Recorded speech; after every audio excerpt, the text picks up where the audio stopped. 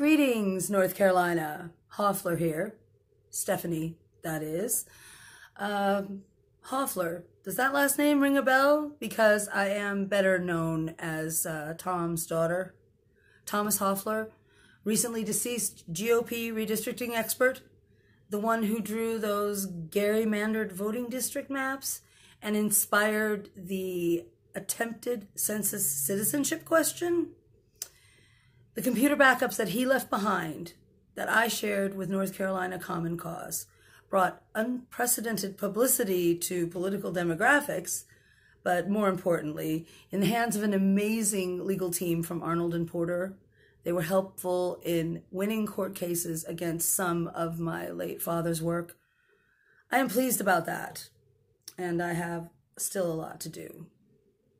Now, as you might imagine, a lifetime of experiences have left me with, well, a nasty taste in my mouth when it comes to the question of government. Uh, so, endorsing a political candidate might seem like an unexpected move for me. And yet, I am endorsing Steve Woodsmall for Congress. The endorsement wasn't his idea. He and his wife BJ just really wanted to thank me personally and tell me that my efforts were appreciated and ask if there was anything that I needed. And they also wanted to tell me that we had in common a hope for justice and positive change. Hope, justice, positive change. I certainly like that. Now, recognizing these common goals, it seemed natural to ponder ways that we could work together. During a conversation with BJ, I was talking about my apolitical political beliefs, including the feeling that more power should be in the hands of the people, maybe even more than our current system allows. But it is that, our current system. And if I were to choose the federal office that would be least corruptible, well, let's see. Uh, the lower the person to politician ratio, the more power stays in the hands of the people, right? Well, 720,000 or so people per one representative. Okay, well, that's a lot of people. Uh, quite a bit more than the 40,000 uh, it was back in 1787. And those guys weren't even aiming for inclusive. But at the federal level, it's the best that we've got. And even though the counting has been historically inaccurate, often intentionally so, at least there are numbers involved, unlike that other chamber of Congress that you've uh, noticed in the news lately. But North Carolina, District 11, what a story. I mean, I don't actually live in North Carolina, but we effectively adopted each other, don't you think? And there you are. And through the efforts of some really good and talented people, supplemented by a chain of incredibly unlikely coincidences, you now have one of the closest to fair, for sure, one of the most widely scrutinized, congressional district maps in the country. Oh, and that's not all. By the same or similar process, you also have at this moment a more reasonable voter registration policy, no upcoming list purges, no unconstitutional ID requirements, good information, and very few threats delivered to you via distributed mailings. It can be argued, and I'm going to argue it, that for you, North Carolina, here and now, any vote is a protest vote.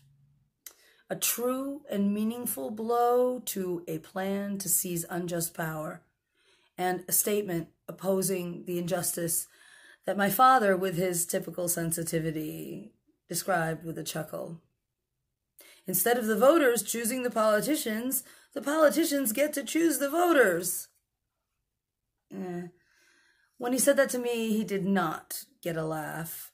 But as I said before, I don't much care for politicians. And I like them even less when they take orders from their party instead of from their constituents. Endorsing a political party is not what I want to do. So I'm not endorsing the DNC or the caucus or either party or any party on any level.